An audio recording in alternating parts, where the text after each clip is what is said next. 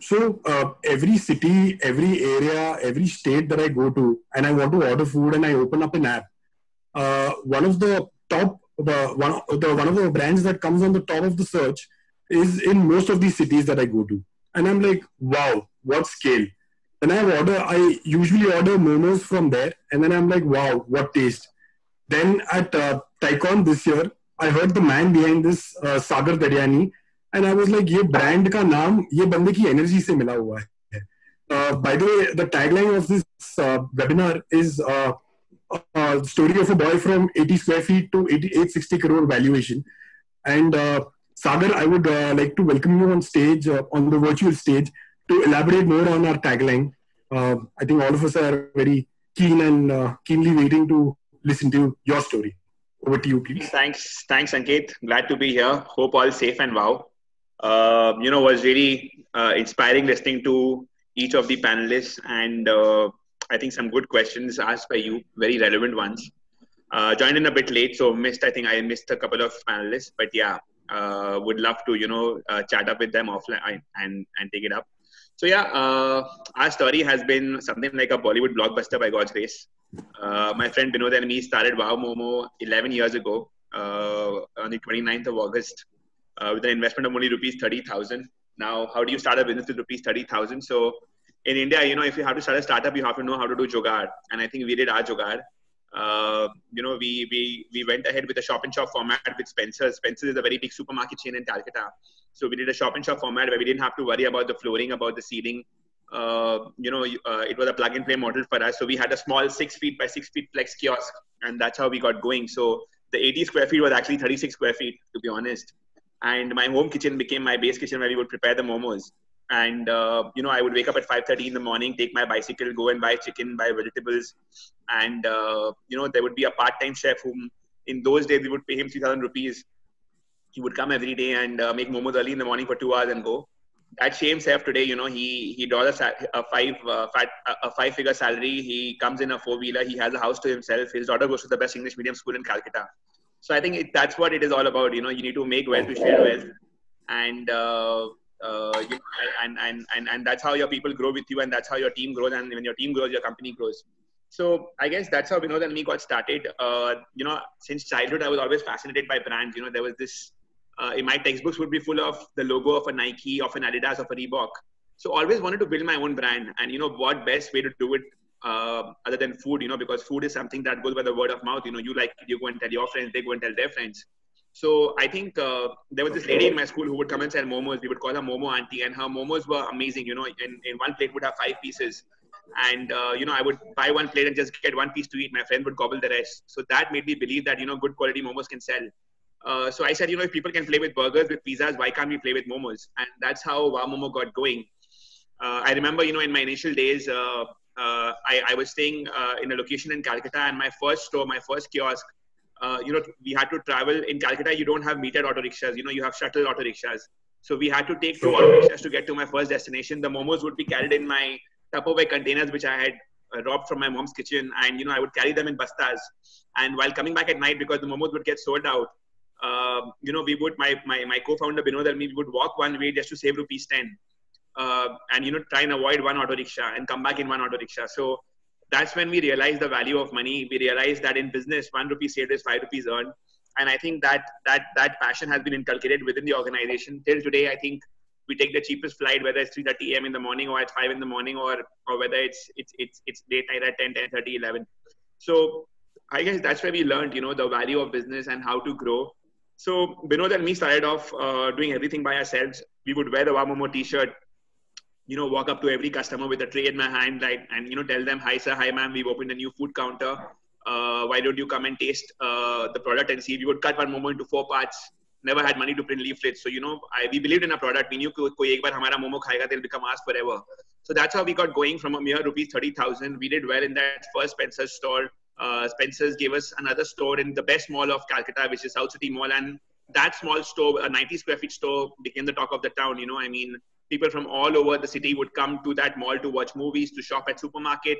But there was this small Chotusa Momo shop which they were all fond of. And uh, from that 90 square feet, we started doing revenues of 2 lakhs a month, 3 lakhs a month, 4 lakhs a month, went up to 9 lakhs a month. and uh, today that same store does around 11 lakhs a month. And and I think that small store made us a brand. Save money from two, opened four, four to six, six to eight. So right from 2008 till 2008 9 till uh, 2015 you know we bootstrapped plowed back profits our biggest investor was the consumer you know. We did not have any debt funding did not have any equity funding. So the consumer was the biggest investor uh, saved money made profits uh, multiplied stores got into cities like bangalore pune chennai. And uh, i think we got to 43 stores. We got to a top line of 1920 crores. That's when we raised our first round of uh, you know angel funding. We raised around 10 crores from the indian angel network. Uh, prior to that, you know, we were offered uh, a term sheet from the same IAN in 2011 at a 10 crore valuation, uh, and we said a no because we were not funding ready. Uh, prior to that, I had no knowledge about private equity funding, angel funding, but uh, there was this TiECon that happened in Calcutta where I happened to participate, and we won that business plan competition, and then IAN gave us a term sheet. That's when I read, read these lines like tag along, drag along, and I was like scared, you know, like ye log to mere se mere business chhin. But it actually made me realize that you know there is something known as angel funding, private equity funding, and it also made us realize that we are not funding ready. You know, I mean, funding is like an ammunition. You know, you need to put it into your business. Investors put money into your business so that your business can multiply and grow to the next level. But I think till then it was only Binod and me. We never had a second line in place, and that's when we realized that you know if we have to become if we have to move from a brand to a corporate organization, we have to build a second line in place. Uh, we have to get funding ready to expand and to scale. And from 2011 to 15, we worked upon it. We got our team in place, and and in 15 we raised money again from the same IAN. I'm grateful to them that they came back again, and we raised at a 100 crore valuation. So you know, one thing I learned then in life was to learn to say no with confidence, to be honest to yourself, uh, to look up to yourself where you look up to yourself in front of the mirror and just say that you know it is not possible for me to do this right now and maybe i could do it later. But just be very honest to yourself. So we were very honest to ourselves. It was very tempting very uh, you know i mean i mean a term sheet a funding sounds a very sexy thing. You know it was very tempting to you know say a yes to i and then but we said a no and we held on uh, we built the build the organization we built people into the business uh, we got replacements for ourselves we got a second line in place and then in 2015 when we actually raised money, we raised money at a whopping 100 crore valuation, one of the one of the largest valuation in the food space. Why so we were valued in that way is because a we were profitable.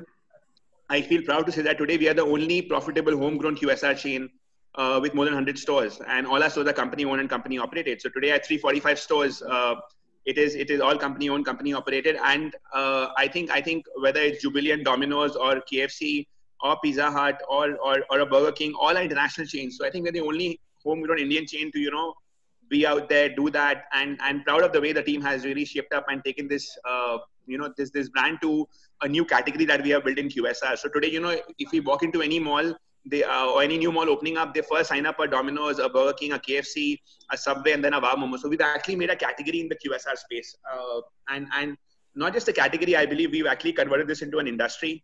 Uh, uh, and, and I'll talk about it a bit later but uh, yeah, that's how our story has been. So, you know, I met my mentor Sanjeev Chandani in 2015 and he became my lead uh, uh, investor in the IAN.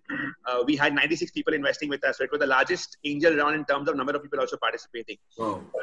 People like Krish Gopalakrishnan of Infosys to Arvind Singhal of Technopak to uh, Sunil Munjal of HeroCorp all were a part of a cap table.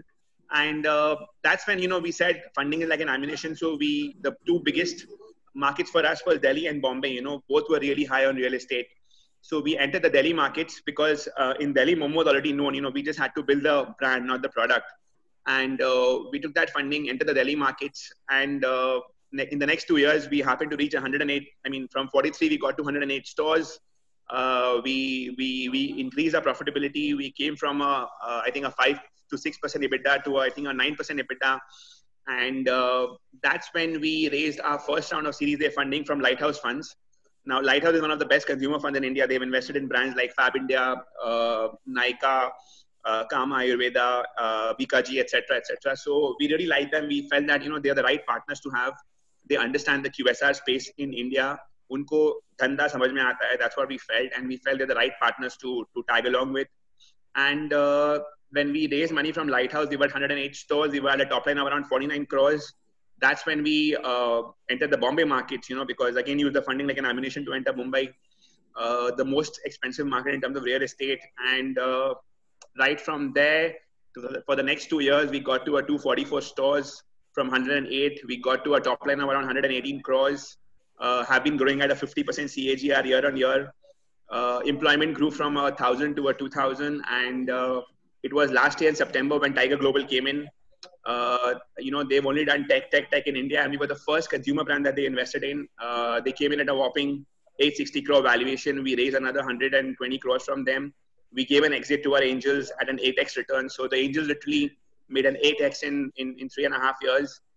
And uh, many of them did not take an exit and are still held on to the company. So yeah, I think I think it's, it's been nothing less than a Bollywood blockbuster journey for us. Uh, today we are at 345 stores, uh, 2,700 employees, and uh, profitable by God's grace. So it's it's been a wonderful wonderful journey. But what excites me the most is 2,700 employees, and you know I want to take this number to 5,000 and then maybe 50,000 someday because you know every morning when you wake up, uh, the kind of kick that it gives you that you know you and your decisions are responsible for so many lives, right? And and and you feel empowered. You feel that uh, you know you are uh, you have that uh, uh you know that uh, God has been kind to you. God has blessed you with uh, you know with, with with a position where you can actually make and change people's life. You can make a difference to people's life, and you can try and add value to the society.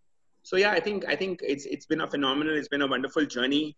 Now, what is it that made us wow? You know, I mean, if you if you ask me, I think when we began Wow Momo, you know, momos were largely available in uh, steamed, fried, and I mean in the in the steam format, right? You would get only chicken and veg momos. So we initially came up with uh, you know different flavors of momos, and uh, just one sec.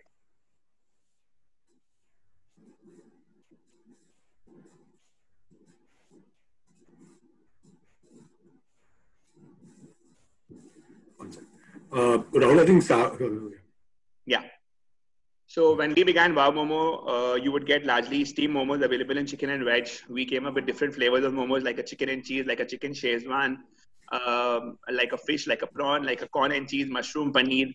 Uh, you know, we, we we were the first to create different flavors, but you know, adding flavors to momos was a very very small kind of an innovation. The next big thing for us, which became a game changer, was the pan fried momos. You know, the momos are fried and tossed in specially prepared sauces. Uh, so the momos in Szechuan sauce, tomato garlic sauce, that became a game changer product for us. You know, uh, I mean, I mean, it is still one of the highest selling categories for us.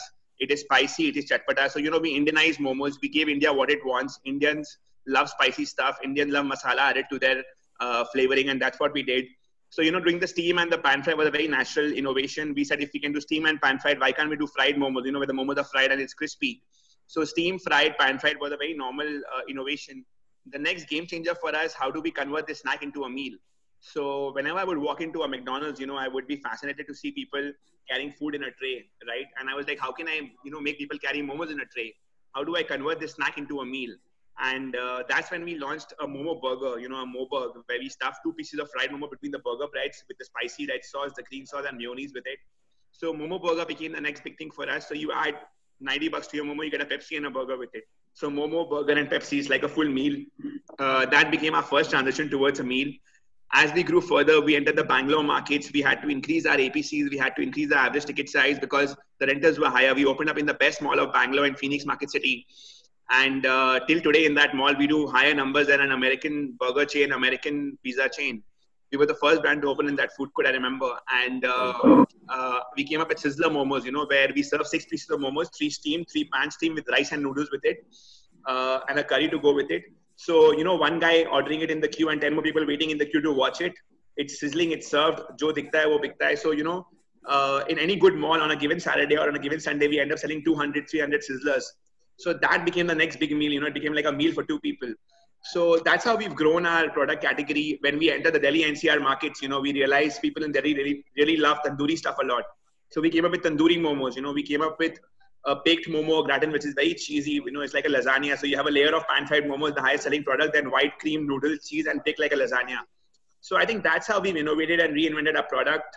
Uh, the only thing missing was a dessert. So we said, you know, if uh, we are a momo brand, then a dessert also has to be a momo, and that's how we came up with chocolate momos in 2012, and it's it's it's it's almost three percent of our revenue. So for a dessert, that's a very high category, and uh, that's how we've grown. We've innovated. We've done stuff like heart shaped chocolate momos on Valentine's Day. We've done tricolor sauces on Independence Day, Republic Day. We've really played with the product. We've made food fun. And I think that's where our innovation lies in how do you make food fun? How do you relate your brand, your product to the lives of people, you know, to the society? How do you engage with the society and become a part of them? See, we were never a brand from the US or UK that, you know, we would open our store on day one and there would be a queue of one kilometer. You know, we had to build that traction. We had to build that brand.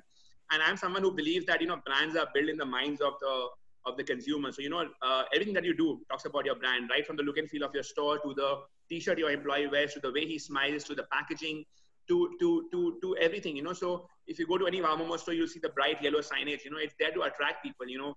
We, we wanted to roll eyeballs. We wanted people to come to our store. We believed in our product. We knew ko ek baar momo they'll become ours forever. But to bring them to the store for the first time, you know, we had to focus on the look and feel of the brand, on the positioning, give it a shape, give it a color, and then that, that that's what builds brands you know that's what builds brands. And what do you do with that brand? I mean today we are one of the first qsr chains in the country to hire transgenders. You know we have 70 transgenders working with us. Looking at us other qsr chains have started doing that. Uh, we have more than 200 specially uh, special colleagues working with us. People who cannot hear cannot speak but their smile on their face wins over the faces of consumers. Uh, they are the best uh, upsellers i would say when it comes to the qsr space so yeah, we've been very innovative. We've we've tried to be a very inclusive brand. We've worked with with with, with people. We've tried to reach to every every strata of the society. Uh, you know, I mean, today if you want a job in Wow you don't have to be a a, a, a class 12 uh, uh, or, or, a, or a graduate. You know, you you can even be a class 8 fail as long as you're willing to work hard. You have honesty, integrity, and you have a smile on your face. I think this is something that we really, really value upon. We are we are a brand of young India. We try to portray the young India. We try to portray the youth and uh, yeah there's a lot that's happening. Uh, two learnings for me that you know i really want to share which i believe uh, uh, can be related to the current scenario which is the corona times the tough time that i the way i call it is um, you know i remember uh, when demonetization happened right? All of us remember demonetization. It was a very tough time for all of us. Um, this was november 2016 and i was just about to raise my series a. Uh, we had a couple of term sheets from a couple of investors and as demo was announced, they all went on longer and uh, Christmas breaks in the month of December. I remember in the month of November, there was no walk-ins coming into our stores for the next one week. Everyone was standing outside ATMs, and everyone was, uh, you know, uh, looking at depositing money. Uh, there were no walk-ins to the store. Business had come down by 40%. The entire industry was down by some 50%. And I remember in that time, we did something very innovative. We realized that if the consumers don't come to us, we need to go to them. So beside every store, we have ATMs, right? Uh, now outside these ATMs, people were lining up and queuing up. So what we did, we got water bottles sent to all the stores. We got paper cups sent to all the stores. And we asked our employees to go out there and serve water to people standing in the queue. As we served water, they were thirsty. We also gave out our menu because they are hungry. We got them food delivered at the queue. We got our EDC machines, the GPRS EDC machines. We got it swiped in the queue and and and and if the consumers didn't come to us we reached out to them and by the end of week two we were down by 26% vis-a-vis to the industry being down by 40%. And looking at us, some of my role model brands like a Domino's, like a McDonald's are doing the same thing. So, you know, that's how you convert a challenge, uh, I mean, an adverse situation to a challenge and that challenge to an opportunity.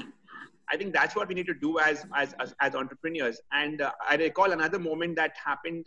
This was, uh, I guess, 2018, uh, not very, not very late uh, we we had opened up in Bhubaneswar uh, in Odisha, and we opened up a first store in the sea beach town of Puri. Now Puri is known for the Jagannath temple, right? And the Jagannath temple is known for the Rath Yatra. So we launched our first store on the first day of Rath Yatra, and we had planned a massive launch. However, there was an American cola company which had planted the entire stretch red by spending some three crores of money, and and we said we don't have that much marketing budgets. So there was a question mark on the launch on the opening. We had got you know, we had, we had called our older customers from Bhubaneswar. We had done a lot of planning around the launch, around the opening. So we did something very different. Uh, we realized that, you know, if 5 lakh people come for the Rath Yatra on a daily basis, and that too on the sea beach of Puri, it's going to create a lot of litter. So we, we via a bus, we sent 50 guys from Calcutta to Bhubaneswar. These 50 people wore the Momo t-shirt. They had a bag behind them and they became, uh, you know, voluntary uh, uh, cleaners to ensure that any the, any dirt that is thrown in the in the sea beach, they pick it up and they put it in the dustbin behind them. We tied up with the municipal corporation, and uh, all the vendors who were uh, there serving tea, serving coffee, uh, serving jhalmuris, uh, you know, making eggs, selling nariyal pani. We ensured that we plant 100 umbrellas. So 100 umbrellas and 50 guys uh, spent around not even more than 2 lakhs and uh, the entire town that was painted red became yellow. And that's how we could draw traction that a Wow store has opened. So i think i think that's what you need to do as a as an entrepreneur. You need to you know look at adverse situations convert them into a challenge and try and solve that challenge to your advantage. And i think that's what we are doing in the corona time which i will talk a bit later. But yeah i believe we've not just created a category in the qsr space. I think with momos we've created an industry. I mean there are a lot of people who come to our stores. They they love the Wow sauce. Uh, we're now looking at packaging our sauces and selling it in supermarkets. Uh, we realize that you know what do they do with the sauces? So they go home, they make pasta with it, they have it with parathas, they may have it with Maggi. So the Wow sauce is the next big thing uh, uh going forward. Uh, you know, very soon you will see a Wow vending machine. So you know, in your corporates, in your tech parks, you will see Wow vending machines to be there very very soon, and a lot of other things up our sleeves, which which I shall reveal later. But yeah, today we we we are now not building a base kitchen anymore. We are actually building a momo factory. So you learned of a cement factory, you've heard of a of a of a iron and steel factory or a textile factory. Now we have a momo factory which we are building across across 35 40,000 square feet in the heart of Calcutta in an industrial estate. So yeah, that's how we've actually converted this category into an industry, and I think we have a long, long way to go. I think I think I think what's what's very important is to remain focused uh, I think Domino's became a brand by focusing on pizza, and we want to remain focused on momos, on the Oriental cuisine. Mm, last year, we launched our second brand called Wow China. So, you know, we actually realized that in India, right from north to south, uh, right from Kashmir to Kanyakumari, you know, uh, you go to North India, you love North Indian food. After North Indian, you prefer Chinese. You go to South India, you love South Indian food. After South Indian food, you prefer Chinese. So, although Chinese is number two in in in uh, in preference, is number one in consensus. So we said, you know, we've actually not really cracked the Momo business. We've cracked the business of operating QSR in India. So how can we make Chinese food QSR-ish? So to experiment first, we launched a brand called Wok is Wow within Wow Momo uh, when we opened a 150th store in Calcutta. And uh, we realized that the product was excellent, but somewhere it was getting lost within Wow Momo because people would come to a Wow Momo store just to eat momos. So outside our store, we we planted one uh, Nepalese guy who had a French beard looked like a like a Chinese, and we taught people how to use chopsticks and how to use the wok box. And we, then we realized that you know once once we are positioning it as Chinese and as wok, people don't understand what wok is, but they are they are they are happy to come in and try the product, and the response was phenomenal. And that's when we felt that you know if we have to play with Chinese, we have to build a separate brand around it. And that's what led to the formation of Wow China, which is our very second brand. And now we have 27 stores across across six cities and uh, it's got off to a to a blockbuster start again. We are there in Phoenix Market City Mall in Kurla in Bombay. We're then Carter Road in Bombay, and and within a few malls across the country. So the best part is wherever a Wow store is doing well, we can plant a Wow China there, so we can we have the knowledge and the bandwidth of of of, of the geographical location and how well it's performing for us. So so the next hundred stores planting them is not going to be a big challenge. What's going to be a bigger challenge is to ensure that how do we convert this into a QSR formation, and that's what we've done. We've cracked it uh, it's a trade secret. I can't share it. But yeah, today when you come to Wow China, it is live Chinese and it is QSRish. So that's been our journey. That's been our story till now. And yeah, happy to um, you know get into some questions from people and, and and would love to answer them. I think I think I think that's a that's a crazy wow story. Uh, you've uh, you've kind of proved that you know uh, uh, innovation not only in product but innovation in marketing is also so important. Um, uh, your story also obviously tells us how important it is to I think uh, bootstrap for an entrepreneur before getting into funding.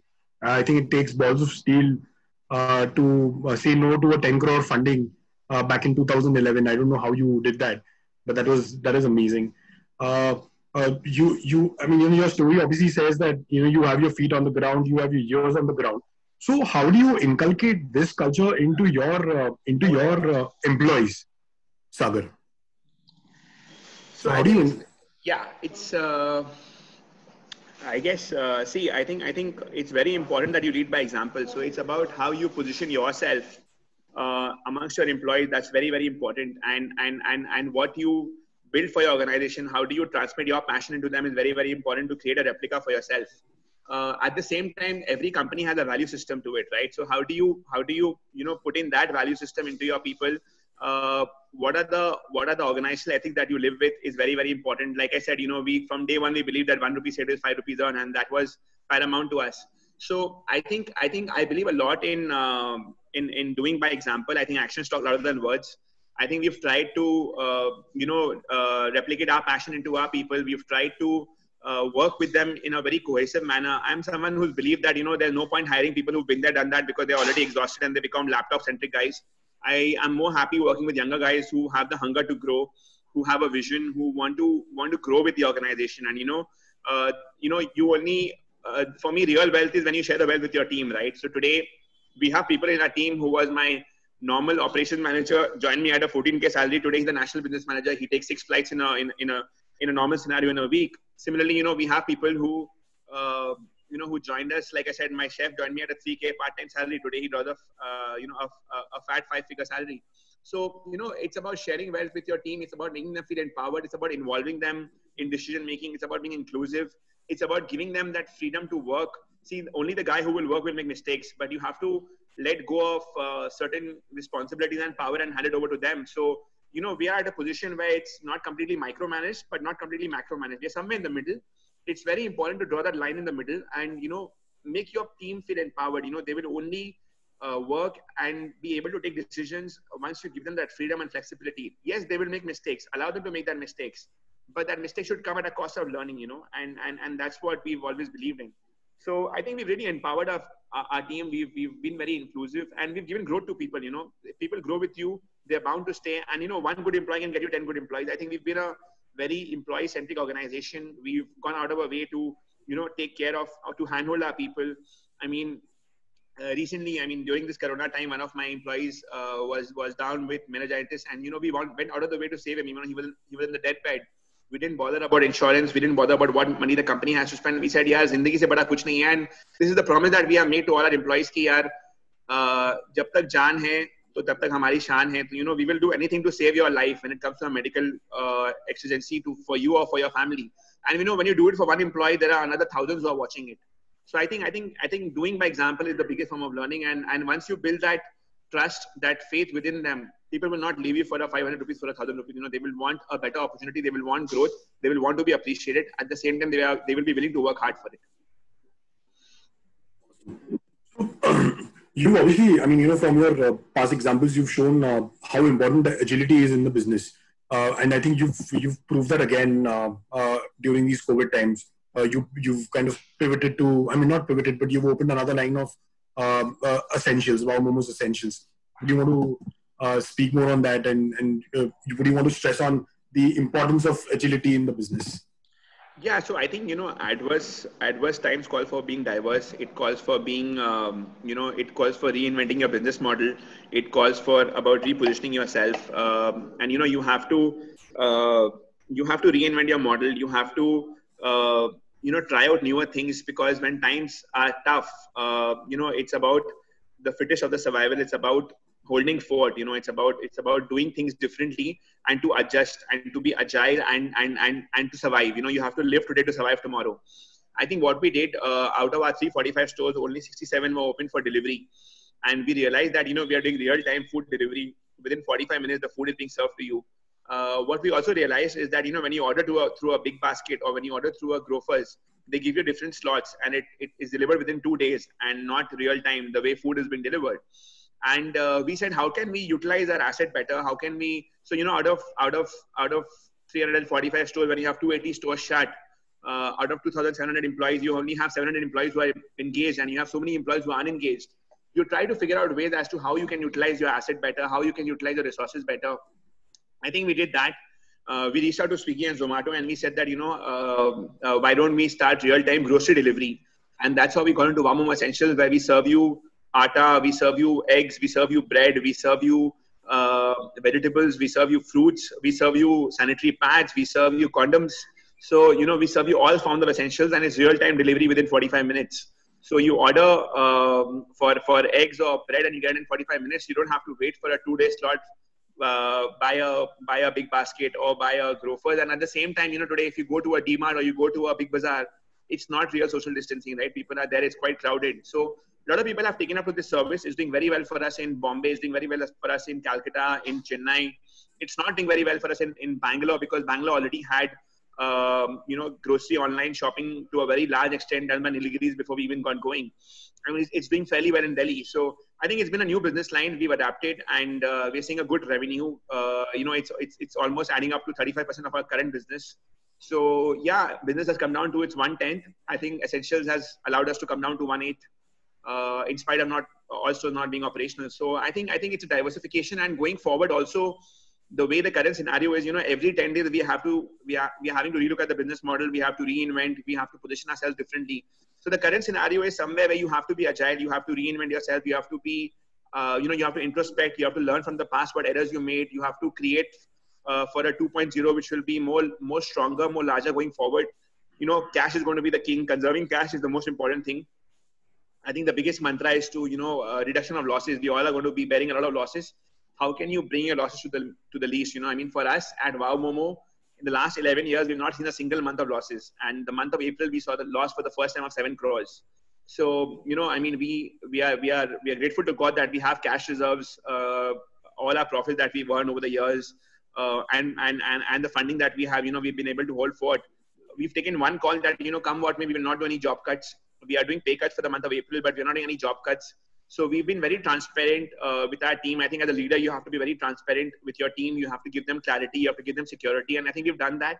We've, we've told them that there will be no job cuts for the next six months. Why only now? And there might be pay cuts, but we all have to bear the gain for the larger.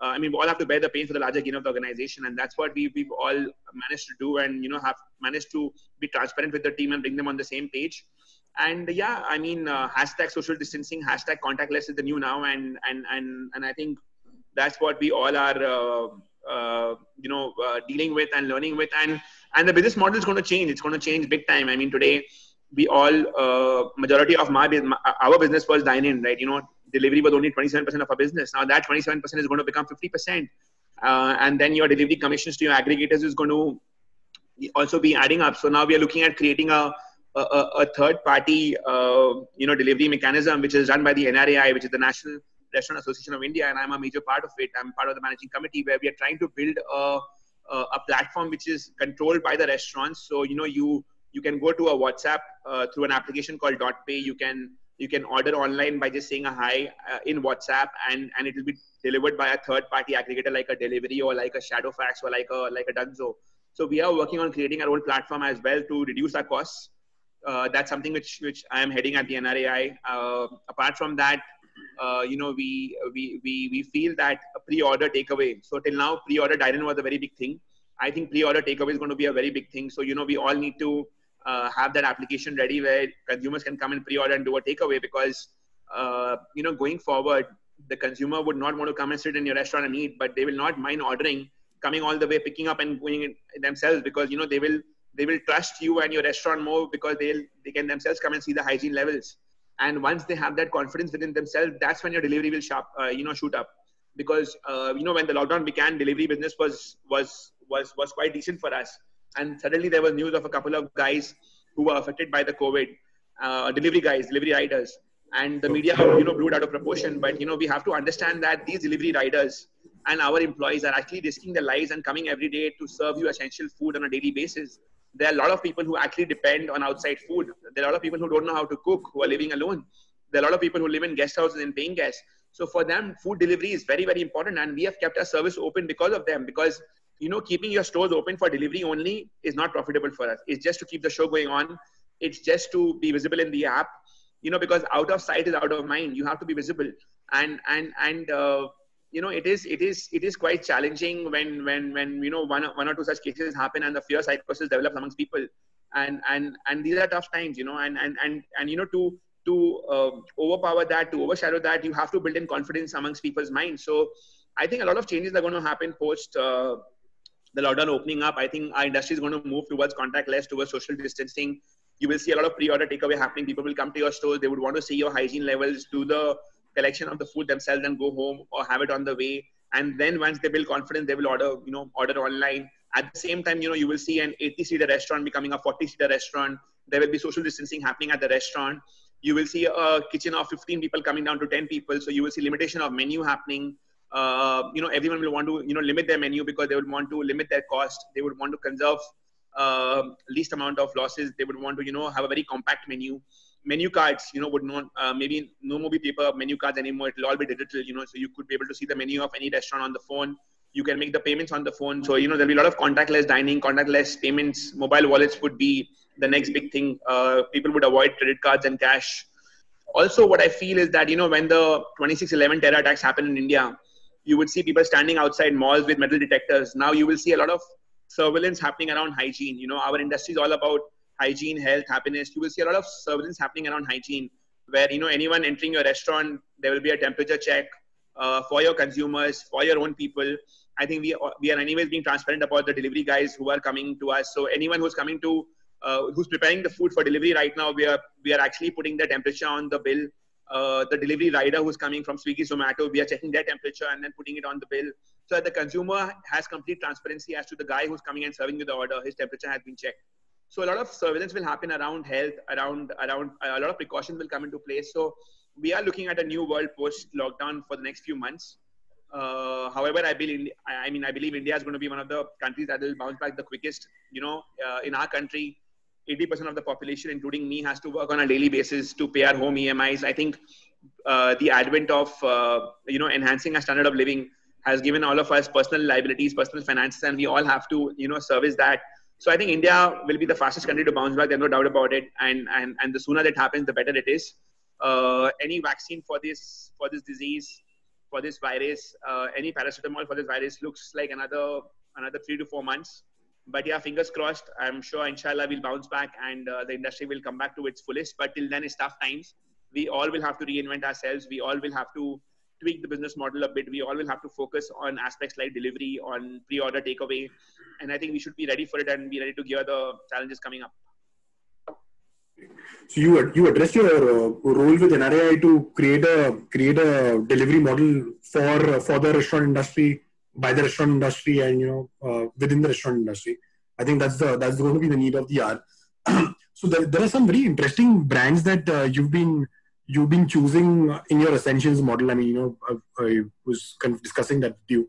Uh, do you have any plan? Do you have any plans of uh, getting private labels eventually? I mean, you mentioned about the Wow Momo sauce. Do you plan to get uh, FMCG Momo or something like that? Uh, eventually, you know, that's that's definitely there in in, in our plans. Uh, FMCG Momo is already a work in progress for us. We're already ready with the product. Rather, we have we were making a building a huge factory in Calcutta and investing almost 12 crores in equipments. Uh, the machines are coming from Italy. However, because of this COVID, I think everything is put to pause right now. Because now it's all about consolidating. You know, I mean, I mean, this year is about remaining alive, not about fulfilling your dreams this year is about you know hanging on there, holding on fort. So I think whatever expansion, whatever diversification that we're looking with the business line will largely happen. I think next fiscal now we'll have to defer it because we have to remain alive. I mean, imagine 345 stores that we have now after we open up post lockdown. Imagine a store where I'm paying a two lakh rupee rental and I'm doing a 10 lakh revenue. Uh, the math makes sense for me. You know, when that store revenue comes down to seven lakhs and the landlord is not willing to reduce the rentals, I will have to shut that store. So I think post lockdown opening up, we will have to do a lot of firefighting individually with the landlords as well as collectively as a fraternity. Uh, but you know the business model of us will change, and if our business model changes, then the business model of landlords will have to change. The business model of aggregators will have to change. The business model of banks will have to change. So I think it's like a full circle. We'll have to battle out this circle. Uh, it's not going to be easy. I think post lockdown opening up, you will first take two three months to realize as to where your business is going wrong and what is the mess happening, and then you will take another six months to clear up the mess and fortunately, businesses that are able to hold fort and clear the mess are going to survive. There are many of your favorite restaurants. There are many of your favorite brands that might not open up post lockdown, you know, because I already know so many of them, some very good brands, kick ass brands who were living uh, on cash flows of a monthly basis. You know, now they don't have money to even pay salary to their employees. So they have sent all their employees on leave without pay. So it's really sad out there. Many will be temporarily shut and will bounce back. Many will be shut forever. So there's going to be a lot of bloodbath. You know, it's not it's not a good sign for our industry. I think the hospitality, travel, tourism, and the restaurant industry is going to be the worst worst affected. So this year is going to be more about you know uh, reinventing your business model for sure, but more from the sake of consolidation. I think whatever new launches that we have to do or expansion, like you know when we went for lockdown, at Wow Momo, we were opening 10 to 12 stores every month. Uh, last financial year, we opened 101 stores. Uh, in the month of March, we had 12 stores ready to be opened, but we did not open. So in 11 months, we opened 101 stores, and we would have closed the financial year at 113 stores, but we could not open. And when we went for lockdown, we had 40 stores in fit outs. Now, my big challenge is that what do I do with those 40 stores? You know, whether the mats, the rentals that we signed up at will make sense or will not make sense. We might have to let go of some shops, you know, and, and out of the 40 shops, 12 were completely ready, plug and play. Another 28 had fit outs on, you know, where the flooring is done, the services are done. So we might have to let go of some locations that will be losses, but that's that's to prevent future uh, OPEX losses to happen. At the same time, we'll have to renegotiate with the landlords. We'll have to, you know, reinvent the entire wheel. We'll have to renegotiate rentals. We'll have to ask for rental waivers for next three months. And it's, I think it's, it's going to take us some time before we understand where the business is heading to, and then you know, clean up the mess, do the housekeeping. So yeah, it's it's it's going to be quite challenging. But yeah, with regards to Wow Essentials, we definitely have uh, not a short-term plan. We have a long-term plan. I think One eh, Essentials is going to be one mechanism where we can spread the asset better. We can use our stores as as as as a dark kirana you know so our Wow Momo stores can be used as a dark kirana so you have heard of dark kitchens i think we are the first guys to come up with dark kiranas um, you know and we would want to keep products that are very different which are not readily, readily available off the shelves so for example i'm a big fan of this uh, brand called PeeBuddy you know and you don't get them available everywhere uh, they have a brand called Sirona which, which serves organic sanitary pads uh, I'm, I'm a very big fan of this brand called Sattviko. You know, they, they serve some amazing food, but they're not available off the shelves on a daily basis. At the same time, you know, there's going to be a new trend of do it yourself, you know, because people will not want to go out and order out too much. So there will be a new trend of DIY, do it yourself. So, you know, you would might have a biryani kit or a momo kit or a Chinese kit. So, you know, we might not mind having these do it yourself kits uh, available where people can cook uh, in their homes by themselves. I think one thing that this entire lockdown has done is that you know it's taken back people to their roots. Uh, I I have been someone who's been fortunate to you know uh, be eating my mom's food on a daily basis. You know I used to travel so much, and I'm I've fallen in love with her home cooked food, right? So you know I think uh, this lockdown is going to bring in the Indian taste buds back again to to to to the new flavors added onto the menu. At the same time, many people will get so bored of eating the home food that they would want to go and you know experiment and try out a sushi try out something italian try out something mexican try out something which is japanese. So so you know i think i think it's going to work both ways. Uh, but yeah at the moment essentially we will we will be looking at products that are not readily available but are excellent products that can be game changers. For example you know we are working with this company called organic cart and and they have some brilliant products uh, to offer and they're not readily available on the shelves but at, at a wow essentially you would have them you would you would get a white quinoa you would get a uh, a virgin oil, uh, which is which is cash product but largely available. So yeah, I think I think Mamo Essential will be known for um, innovative and niche products going forward. And along with them, when people will come to shop, people will also not mind shopping from an Aashirvaad Atta or will not mind buying uh, a biscuit or or will not buy you know mind buying some eggs and some breads with it. So I think that's the business line we're looking at. We hope we can create it. We hope we can build habits. We hope we can change habits, and let's see how it goes. I'm going to do something interesting now. So uh, the other speakers on the panel, I think they have a few questions for you. So I'm going to uh, uh, keep put it open to the other speakers and uh, and Naveen, uh, in case you know you guys want to ask some questions to Sagar. Uh, Rahul, if you can unmute all of them, please. Yeah, just a minute. I think Naveen had a question for you. I just read Naveen's question.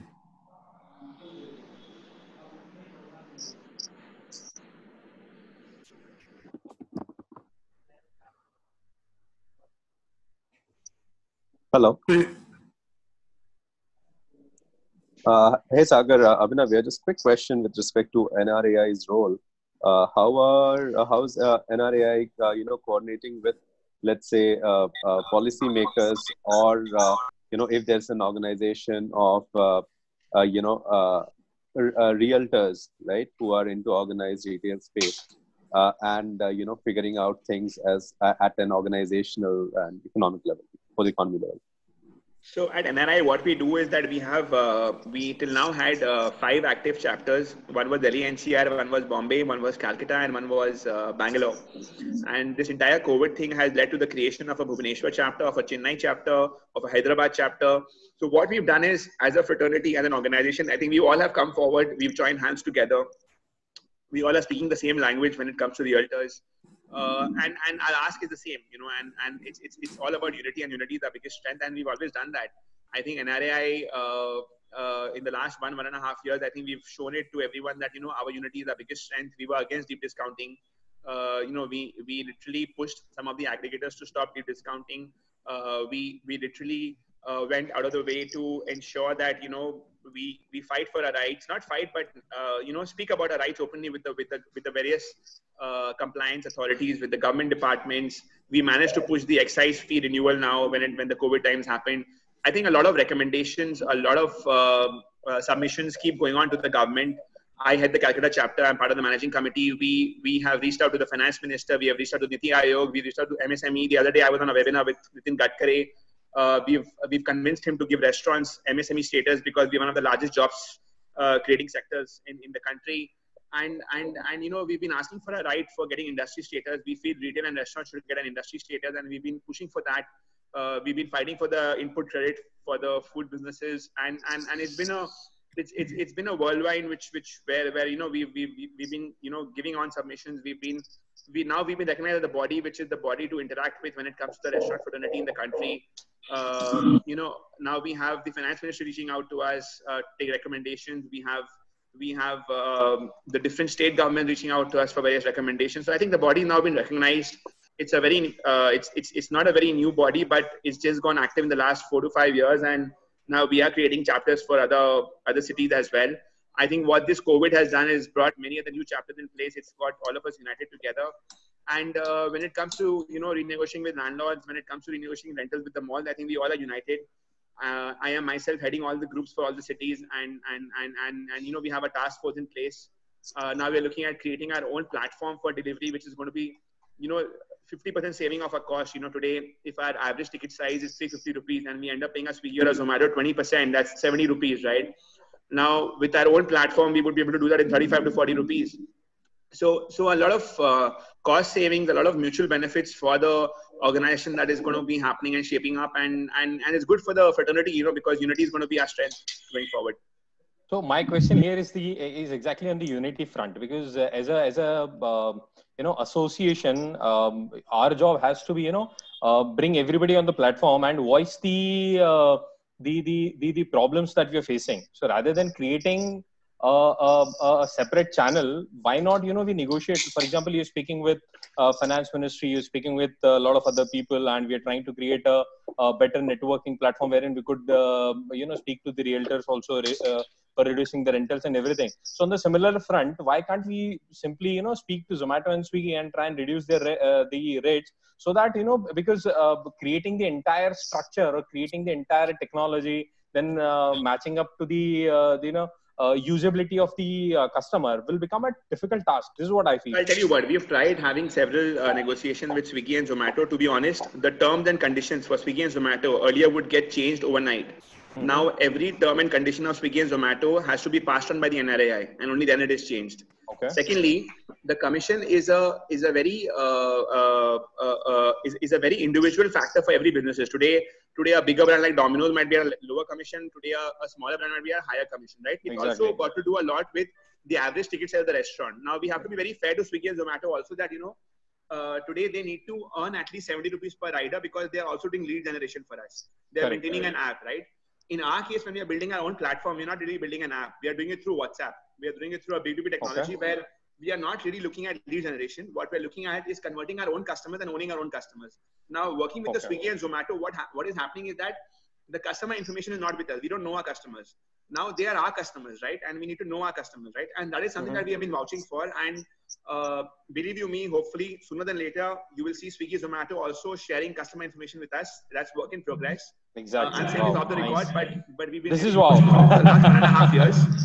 And also, uh, if you remember the entire Zomato Gold thing, NRAI uh-huh. stood a very tall stand against it, and all of us boycotted it Talk and today, to be very honest, the gold has lost its dust. It's lost its Correct. charm, right? Correct. At the same time, uh, with the Swiggy, with the Zomato, we've ensured that no terms and conditions are randomly changed. Uh, we have uh, every quarterly meetings with them, uh, whether it's Swiggy, whether it's Zomato, whether it's Dine Out.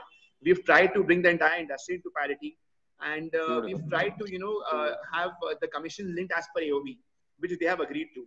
So, you know, we were on the closer stages of of this entire agreement of AOV linked to uh, commission, and and I think I think we all moved towards a February and a March where the lockdown happened. But uh, you will see a lot of action happening. We've already done our homework for the last one year. Uh, Swiggy, Zomato, both have been very supportive, to be honest. And let's see where it leads to. But you will see more uniformity, more parity. But the very fact, we are not saying that we're going to disown a Swiggy or a Zomato. That's not happening. You know, we have to live with them. They have to live with us. You know, we have to coexist. But it's going to be more of a hybrid model where we have our own platform. At the same time, we work with them. Now, having our own platform is going to obviously strengthen us. Uh, we are not going to be dependent on a third-party aggregator. We are not going to be dependent on uh, you know any kind of monopolistic practices by a couple of vendors.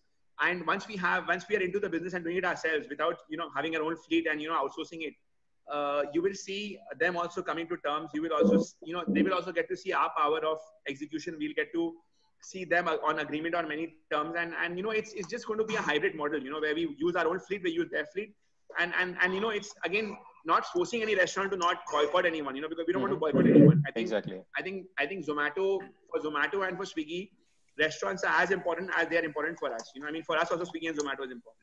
Very true. Very true. And how to start Indore chapter?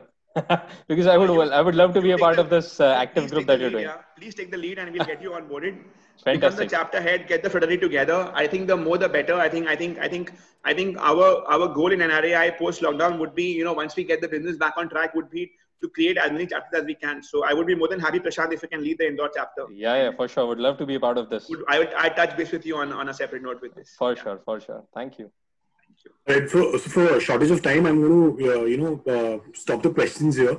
Uh, Sagar, I mean, you know, if you would want to end with a, a closing statement uh, uh, for all the fellow food entrepreneurs here, uh, and then I will give the mic to Naveen.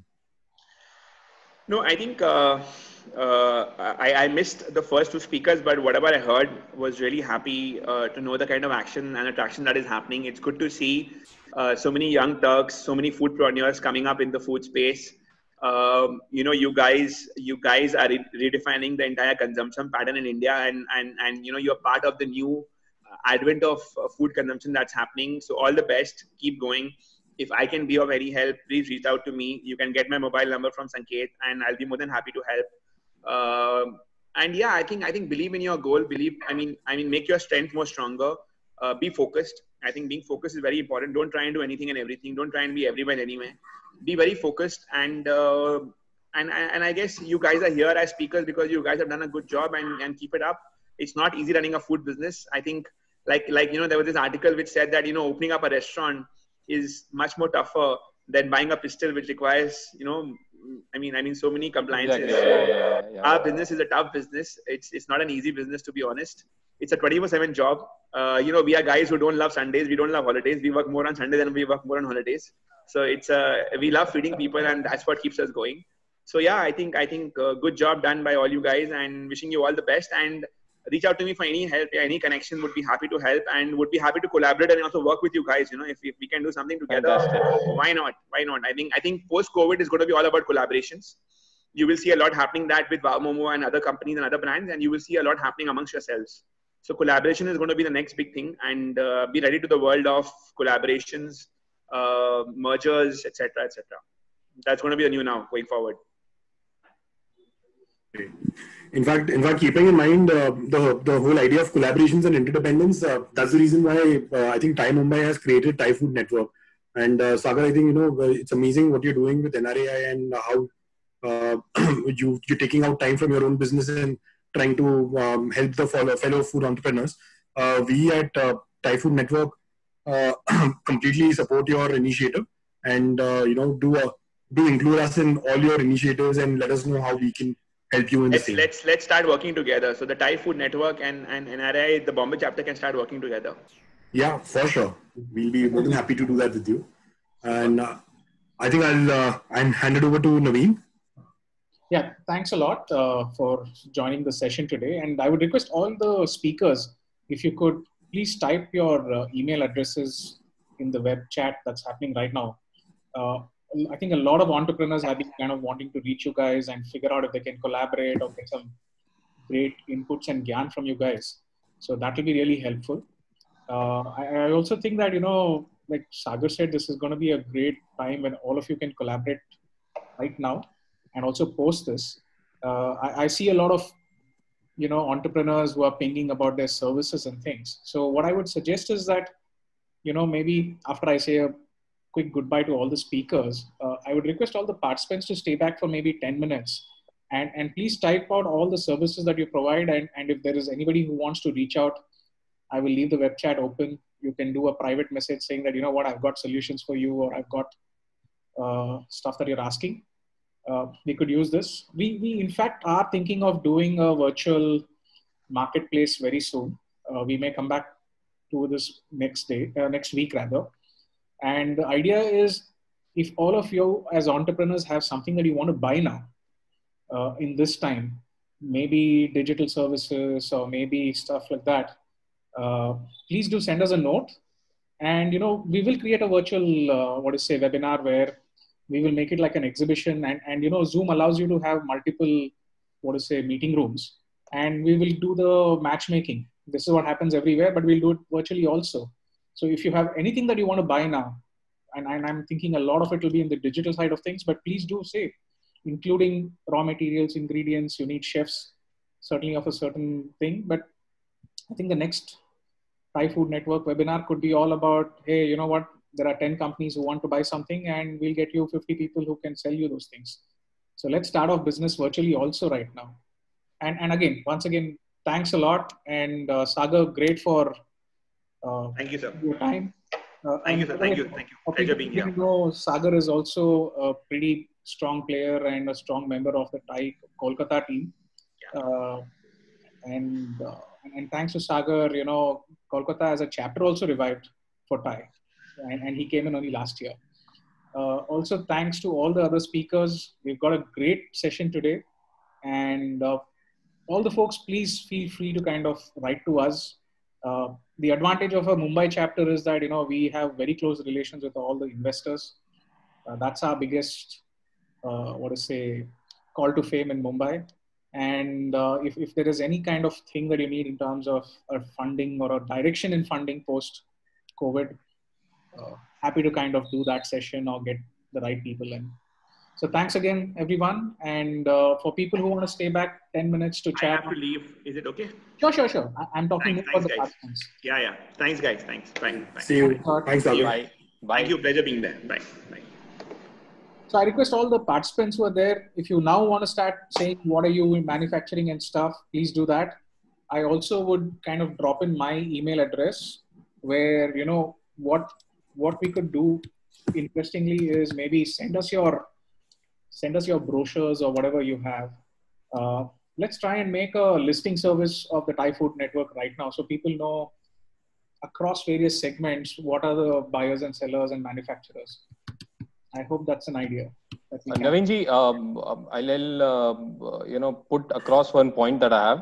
okay. Uh, we're we're doing the similar front, a similar uh, thing. Um, probably we've built um, a network of a lot of manufacturers. We've built a network of a lot of uh, you know uh, service providers. We have built a network of a lot of chefs, advisors, master chefs, uh, chefs from uh, from Spain, Paris. So we've already started building on uh, that front. So we can also discuss because, like like Sagar rightly said, that uh, the idea is not to compete with uh, each other now. The idea is to collaborate now. So basically, how can we work on the on this uh, together, or probably can create a shared network uh, of you know resources. no, see, at TiE we don't uh, build, we don't believe in trying to reinvent the wheel and build it. So Exactly. if there's a platform already like that, just send us the details. We will send it to all the participants here. And uh, if, if it's a ready-made marketplace, and No, it's not a marketplace, marketplace kind of a this thing. But what we are doing is we are trying to help each other. For example, somebody is manufacturing A and somebody is manufacturing B, and the, these both are uh, you know um, uh, probably complementing uh, products to each other. So we try and connect with them and uh, both of them together so that they can start their own uh, you know scaling up things. sure, So this is what we have done. This is not a, not a, not a formal structure that we uh, we have built, but um, we we are associated with a lot of SaaS providers. We have uh, we are in touch with a lot of uh, you know auditing team. Uh, we are in touch with a lot of people basically. So you know because our our scales and our operation requires us to connect with a lot of people. So we have this platform that we have created for almost seven eight years now. So uh, we thought of creating it you know on a same uh, you know giving it. Uh, a, a common platform to everybody so that everybody could enjoy the fruits. Perfect. I think I think I mean that's a very good idea. So I think you know, what we can do is we can uh, we can probably float a Google form where people can put in whatever services they offer, and then you know we can float it around. I think uh, uh, Gaurav, Gaurav and I have experienced it. You know, so I think Gaurav, Gaurav and I piggybacked uh, on our fellow restaurateurs in Chandigarh, in uh, Bangalore. People have come to. People are using Gaurav's network in uh, Pune. Uh, we've done that across five cities. Uh, we 15, 20 D2C brands are now using Sagar's platform to list on Wow Essentials. We've already kind of been doing this offline as part of Food Network. Uh, I think uh, beautiful. I think uh, now uh, we would uh, now want to use your network, Prashant, in Indore, Would love to be a in part of it. Nasik. Um, I think Abhinav uh, uh, will definitely uh, will be seeing Abhinav probably on Wow Essentials and all of that. Sanket, so think, yeah. we've been we've been uh, speaking and you you know for one thing for sure that रोज नया चाहिए प्रशांत को दिमाग में। कुछ नया खुजली रोज होता है। आपका हार्वर्ड की स्टडी बना है हमारे आईआईटी में बनेगा। हाँ करेक्ट सो वो रोज खुजली एक मिटाना होता है तो we keep on you know building lot of stuff probably we can not complete that cycle always but you know it's always good to start something we are let's see how how far it can go and I am always would love to be part of this thing in fact i would love to be a part of TiE Food Network also and probably how can i be of help to you also naveen ji sanket ji please let me know there also Sure. So, so yeah, we'll, we'll soon do that. Yeah, we're going to start enrolling, uh, I mean, a separate membership for TiE Food Network. I mean, you and so, it's not only product but we have built a lot of service providers also with uh, with us see the, the difference between uh, NRAI and TiE uh, Food Network is that NRAI will take on industry issues and lobby for you guys and work on licensing and stuff like that. We are pure, pure helping entrepreneurs scale up and grow. So we go back to the basics of you know how do you start a company, founder agreement तुम लोगों ने बराबर किया कि नहीं? Do you understand हाँ. fundraising? Cycles क्या हाँ. होता है? How do you and and and Thai is nothing but connectors. You know we get exactly various people to connect. We, we bring mentors. That's it. So we are not an industry association. We are more Mhm. the folks that entrepreneurs at a very beginning stage to growth stage need us to come and help. So, so dono ka what to say uh, roles are very different. So happy to collaborate with everybody. At this time, in fact, we need to do much more than just collaborate. I think we also need to, like what Sagar was saying, put put down a good new industry standard that will become a gold standard for everybody. And and and even if if those conversations with a Swiggy and a Zomato need to be done, uh, let's go through the what to say through the investors route. We know the pre- private equity guys and the and, and the investors who have put money in them, and uh, no harm in touching them and saying, "Hey, listen, some of this is what we are building yeah. Yeah, I think we can come out of it, and we are we are very positive that uh, yeah, COVID nineteen, you know, it, it'll never kill humanity. You know, It will- correct correct. It may disrupt for a couple of months, but yeah, I think uh, we'll come out of it strong. And and the good thing about the web chat right now I see is that a lot of people are also asking. I, Mhm. I saw somebody say I need chef, and somebody saying we can do this. So, so like one thing that I've always been saying, I think within startups, there's enough of business that is there. You know, it's, it's Exactly. not necessary that you need to go to a big brand or a big company. Uh, I think so this is this is Navinji, this is how the idea came to me also for example so i am in touch with let's say almost uh, 28 29 different uh, uh, food franchisee brands. So their their things their requirements are similar are that of mine. So they would be requiring a pos system they would be requiring an inventory system they would be requiring a audit guy they would be requiring a chef or a probably a you know um, um, staff provider or probably uh, some some uh, white label sauce to be manufactured. So i've already done that bit sure. uh, for past seven eight years. So i thought of sharing this network with the uh, fellow members of the team so that we both can grow together. So i i, I want to be in, in the good books of uh, both the guys. I, I don't want any cut in the uh, or the commission. It's just that i would want to be in the good books of both the parties. Absolutely. so that's how the uh, journey has been. So uh, yes we can obviously uh, uh, build that network also.